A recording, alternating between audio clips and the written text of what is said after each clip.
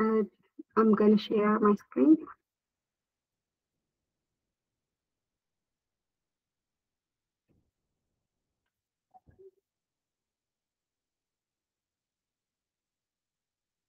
Uh, you can see the screen, right?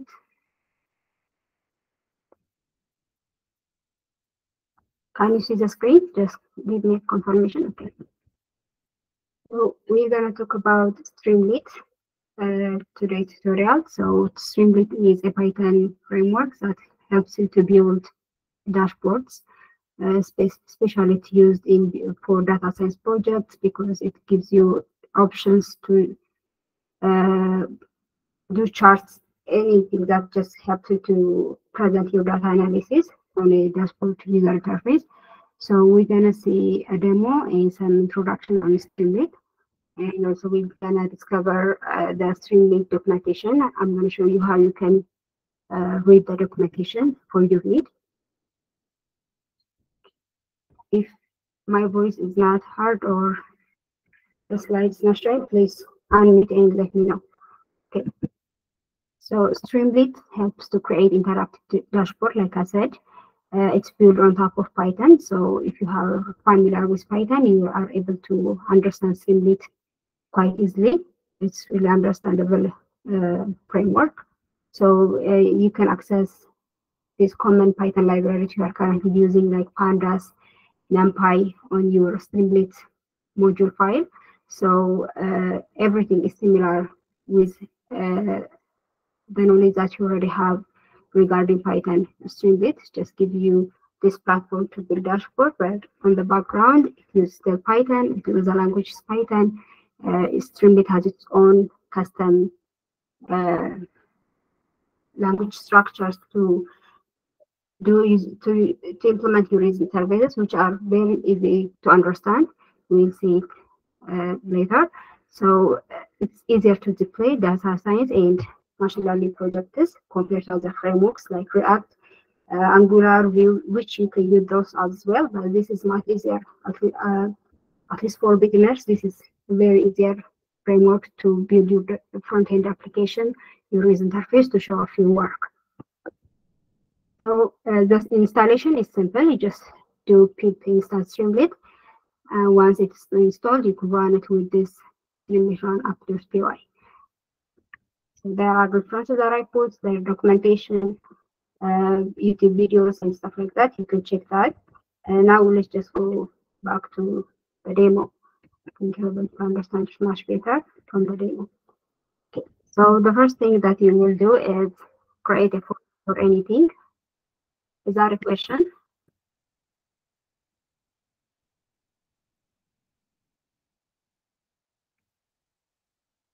Okay, let's just go back to the code.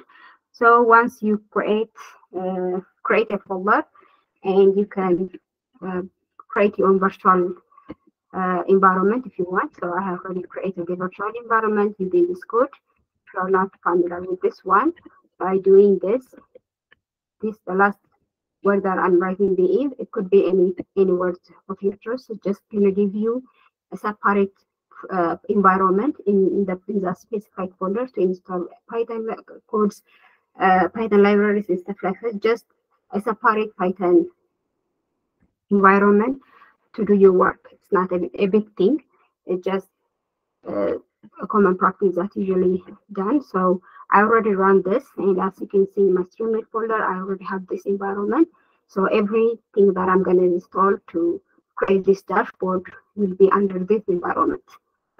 So I can only only access it when I open this environment. So to access the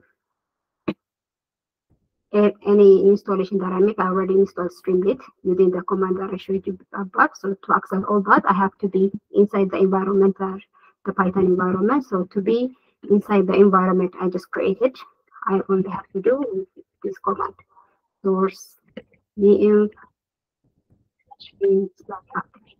I'm activating the environment, which is if you populate it, there is a bin, and under bin there is activate. So if you activate environment so you can access that particular environment. So when you do this, you can see accessing your environment. So if I just page it version,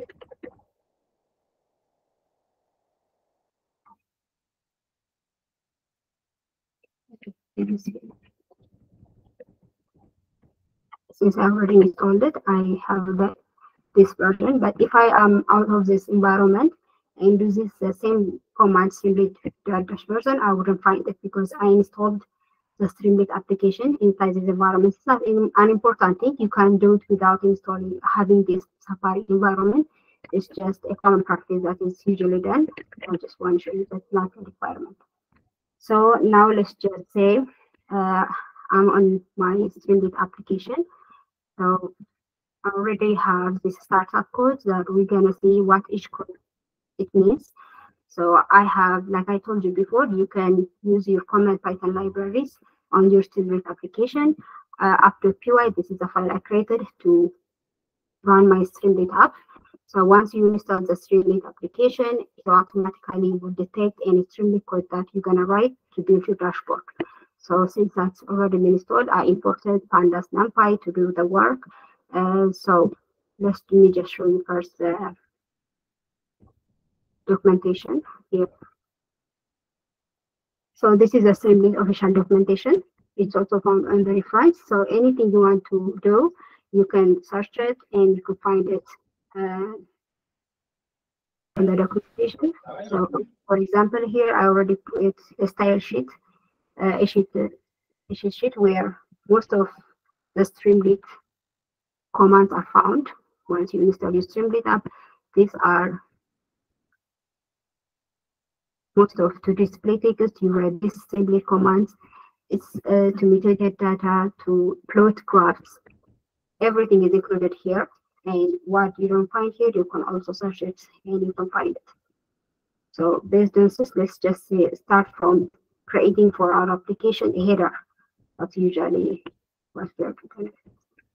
So here, uh, just a container is if you are uh, familiar with HTML tag, it's like a div which gives you this container to space or a section uh, to put your some some content of your uh, um, some content that you decide to put on your dashboard. So I decided to put on some part of the browser container to put a header, a title, and some kind of paragraph, things like that, using this Streamlit keywords, which you find on the documentation. The name is also descriptive what they are doing. So uh, and this one is giving you uh, if you if you know html tag giving a title heading head tag. The purpose is it gives your browser some name and icon for your browser. This is what it's doing. I give my page title the entire dashboard title data data dashboard. Let me just say dashboard I gave it some uh, emoji for my browser, for my dashboard. Uh, when it displayed on the browser, it will show this icon, and I give it a layout saying white. So let's just run it and see what this are doing on my front-end application. So when you run it, we have to do this way. You have to call the file you are running.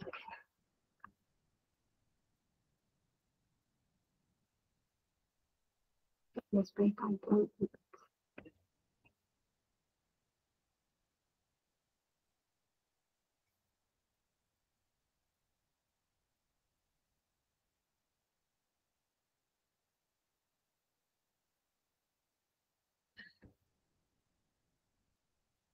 This is what I did. If you know on HTML when you give your page title, the dashboard will show up here.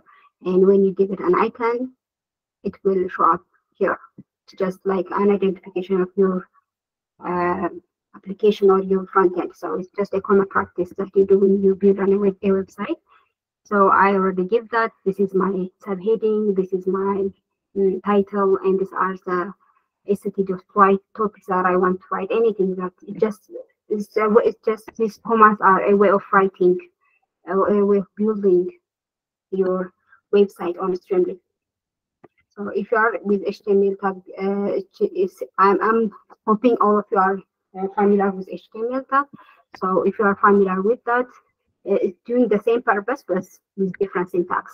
So the, all you have to do is get the syntax from the documentation and you can be as creative as you want on your dashboard. So on the second one, I decided to create two sections, another two sections. Like I told you, a container will give you a space. So this is one container that I created or one div in, in HTML language. Now I want to create a content right here and right here. How I will do that on Streamlit is I'm going to use the columns syntax, the columns keyword from Streamlit. Uh, I can be, I can create as many as columns I, as I want. I can say three, I can say four, but I want to have two sides here and here on the same row. So I put it like this, I define it like this, which this, everything you will find the guide on the documentation again. So on the left column and on the first section, I asked it to put a header, something, and to put this kind of um, template, which says, which topic I mostly talked about. Just be creative as you want. Uh, on the right column, and you use the with key to indicate the second section also with the name. And here, PD is the pandas library that I just uh, imported here, and I, I can access it on your Streamlit app like any Python module. So it's just here I decided to plot something. So this is just a mock data. They say my data frame contains three calls, and these calls has these, these values, and now I want to plot them using chart, bar chart. So now let, let's see what it looks like. So you can click here on the on your application, the rerun command to see your changes or keep it always rerun. So anytime you make change, you will see it automatically. So let's just try this one. It's still running. Here, I just plotted uh, something using the mock data that I gave it. Now our dashboard is gone. It's becoming really good. So if you want to add, let's say, some sidebar here instead of just like this, um, you just you can go back here and just search something. I want to add a sidebar. It automatically brand you the sidebar syntax for Streamlit. They, they have a default created sidebar, you just only have to access it. It give you an example. For example, let's just display this one. Let's see what it looks like.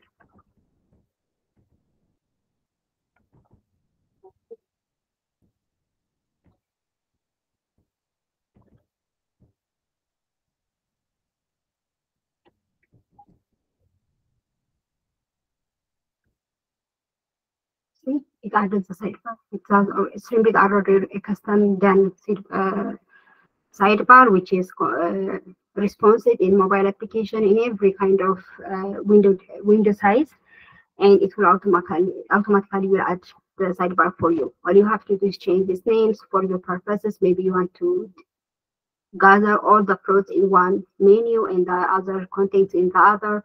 So you can be creative as you want. It's very a simple uh, dashboard framework to build dash, dashboards. So let's go back here and let's run this one. Uh, what else is there? So uh, for and this is the other one, this markdown syntax of Streamlit. It can help you to be as creative as you want. So markdown is another way of uh, language out there that mostly used in GitHub profiles. Uh, in different areas, you can see this markdown language, so you can also access them in Streamlit. You can access this markdown functionalities using the ACT uh, markdown syntax of Streamlit. Uh, markdown is like an HTML, but it can give you the option to add icons, links, different structures that can beautify your dashboard. So you can ask, access it on Streamlit using the ACT markdown. So I just give it here a button, or I can give it any HTML function here also form. If I want to add a form, I can add this one.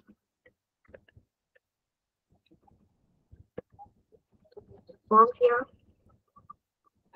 I can add inputs. For example, I want to register something with inputs.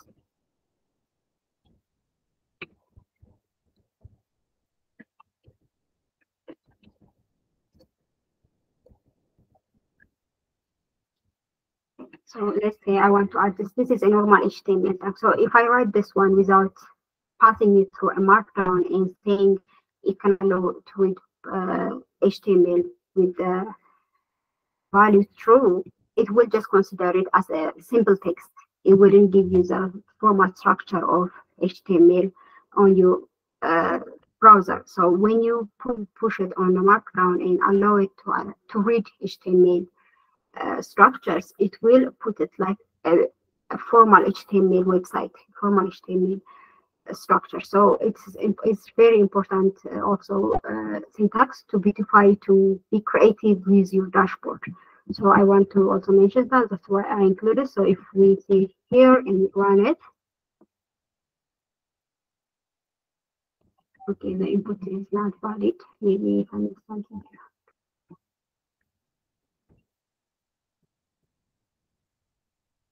It's just like this one.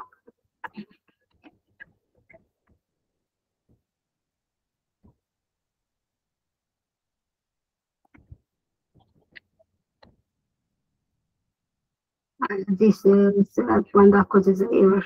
It doesn't have a closing tag, so we just run it again.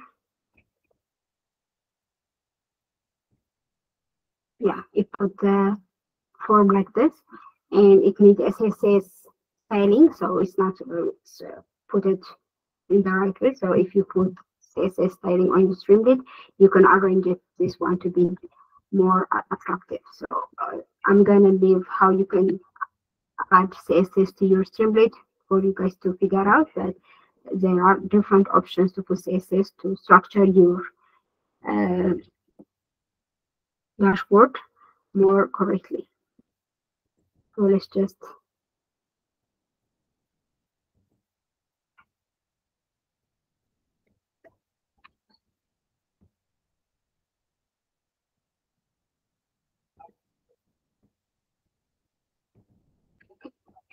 So I already made a simple CSS for this button. They have this CSS here that I just I code the button of HTML tags and give it color or something like that. And you can also apply this one on this markdown HTML that I'm using. And there are also other ways to add CSS to your Streamlit application. So read up on that. I have also put some references on the slide. Uh, whereas now we see the most common used uh, Streamlit syntax to build your application. Now, what if you want to connect your Streamlit, which you probably need to do, connect your SQL with Streamlit application so you can drive your data from PostgreSQL or any SQL database. Uh, it also can access uh, database to your Streamlit. So let's just, this one, I already have a Postgres database and I want, I have this table in my Postgres user table and I want to access it in my Streamlit and I can use your data to plot plot it so I can show uh, some kind of ED analysis on my dashboard. So I, I, I want to plot it using bar chart once I fetch my data from the my Postgres. So let's see what happens. The table only has one row, so the plot might not be big enough. But let's see if it fetches, fetch it from my database and I already have one row, so the bar chart is a bit small. So if you have more data, you can analyze it with this one. There are a lot of plotting. There are line chart, bar chart here. This, there are. These charts, there are different see, and you can use to show off your data at the end of uh, the data that you display in your dashboard. Okay, now this is after you connect the SQL, you can do you can manipulate the data that to get in different ways to show off your work on your dashboard. Uh, if you want to also upload your CSV file instead of connecting your SQL, you also can have the option to do that. So you can just click here and search for uploading file. How can I upload file? Just click upload There. you can it has the option to file uploader it can give you example also how you can use this functionality so just write a file uploader and it will give it will put on your uh, dashboard an option to pick a file from your machine and display it. And once you find that file, you can also now be creative by plotting the data or by putting it on a table, anything you want. So you can also run this one and see what it can do. For now, let's just pick this one and see what we can do with it. Here, this one. Now I want also to do uh, this city data frame. If you can see it, it will change your data, whatever data you found from database or something on data frame. And uh, uh, once you got the data frame, it will also uh, display a table of that data frame and you can again make a chart of it. So uh, I can do the same thing here. Once I put the data frame, I can choose to convert it to the data frame. So run it and see the change.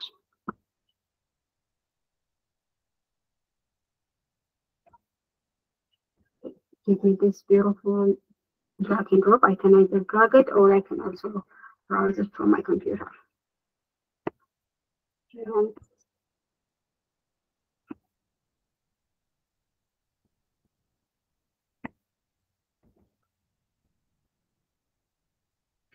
it just select this one for now.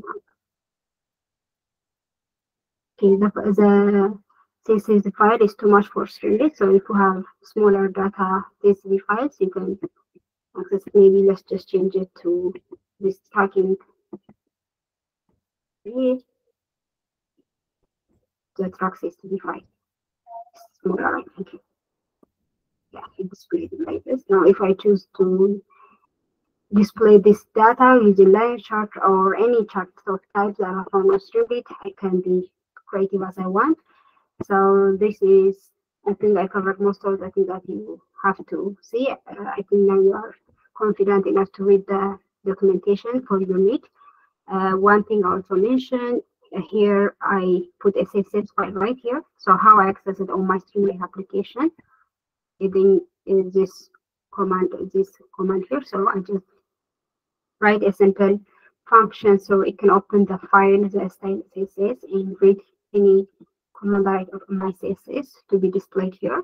So I put like markdown again, it's very useful. It can read uh, any markdown uh, writing, of writing. You can add emoji and stuff like this. So I'm just asking it to read the styles that are found in my style CSS. So I just put the location of my style CSS here. It will open it and it will read the CSS file using the markdown and I also you can also have the options to if if you see it here there is a header right here. There is this header. Here this the default header. So if I don't want to see it I can uh, make here the header. I can choose to make it visit hidden if I make it hidden it, you will not see the header part uh, if there's a footer I'm just making it hidden not to be shown uh, the main menu which by default is there. So I just you can be you can manipulate it as as you see fit. So so I think this is I would say this is a very easier framework to understand. Uh, if you have questions or if you understand what I just told you, please um, you can if you have any questions, you can go ahead and ask. Okay, go ahead, Hilary.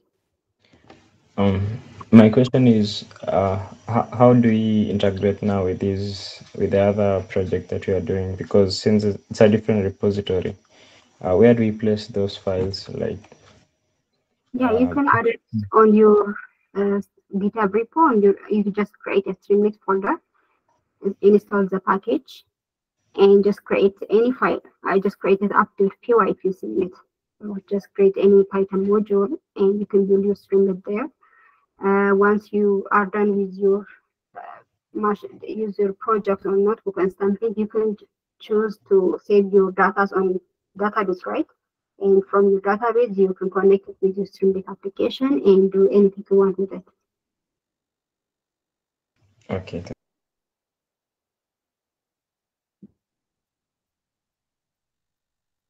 yeah, the serve.py is just, uh, it's not an important file. It's just for me. You don't have to worry about that. Yeah, I think there's an option to use the Streamlit with Jupyter Notebook. So you can uh, check it out on the internet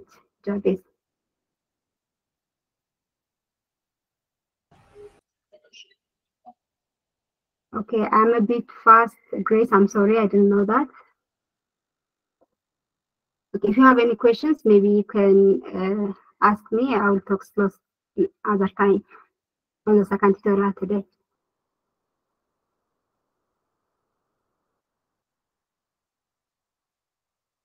So is it clear? Um, good morning. I will just um go over the video recording again because I did not really get a lot of things. Sorry, I didn't catch that. Chris, could you repeat? Yeah, I said um good morning that I am going to go over the video recordings again because I did not really get a lot of things. So I'll just Okay. watch the recordings again. Yeah, you do that. And if you have question, you can DM me also. Okay, thank you.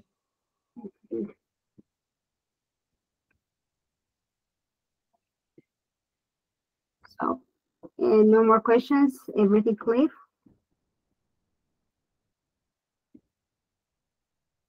Okay, great. So just go over the references and the documentation. It's a very easier framework. I, I don't think you will find it hard to build your dashboard. Uh, so check it out. And if you have unclear things, you can always ask on the Slack.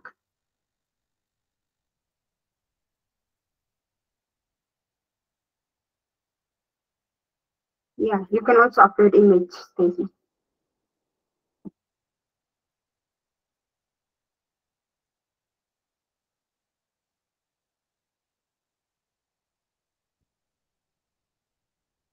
Okay. So if there are any more questions, I guess we can stop the recording. And we have tutorial on the afternoon on full stack development. So we can catch up then. you can use the time to work on your project.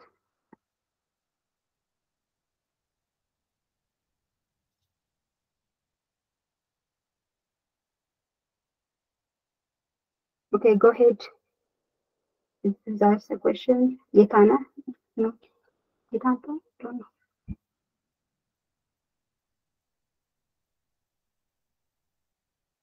know. Is that a question?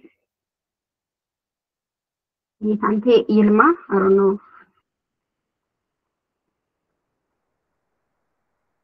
Okay, Hilary, is that a question? Yes. Um. uh, Also, if if I if you haven't made any pro, uh, so much progress in the Postgres uh, database, uh, should I just start on this one Streamlit, or must I do the SQL first? No, we, the way how you want to do it is, is up to you. Uh, If you want to build on the Streamlit on the side, you can do that.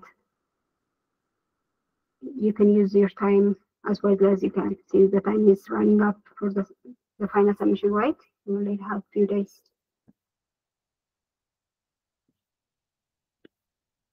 Can we build the dashboard? Yes, you can build the dashboard using React. The second tutorial uh, also, I'm going to show you how you can use React. Uh, there's no any limitations on which dash uh, framework you should use to build your React, but Streamlit is mostly used in database in data science projects. Uh, I'm just we are showing you because you have to know it.